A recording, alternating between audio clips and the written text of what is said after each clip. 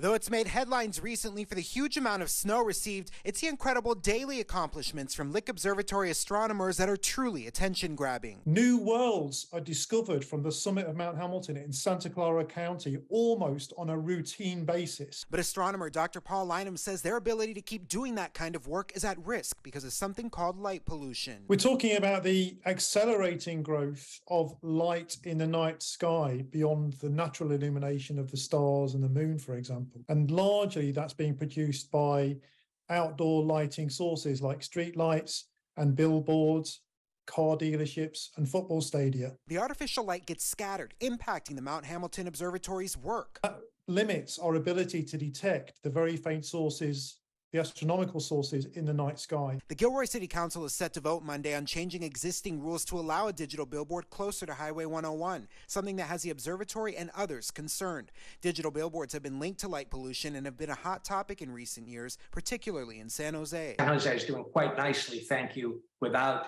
uh, new billboards. The city recently voting to now allow digital billboards near its airport. Proponents say the billboards provide marketing opportunities to local businesses and bring money to cities. Local group No Digital Billboard San Jose says they disagree for many reasons. Based on our own research, we've seen in the Bay Area, uh, in the, this county, that um, the majority of the the advertisements are national and or like advertising sites outside of the community like San Diego. A report on the proposed Gilroy billboard last year found that there would not be significant impacts to the environment, but Lynam says it's not just their work, there are broader health implications. Light pollution has also been linked to various human ailments like obesity, heart disease, and depression. More recently, something called mild cognitive impairment, which is a proxy for dementia. An impact that goes beyond stargazing. In the South Bay, Zach Fuentes, ABC 7 News.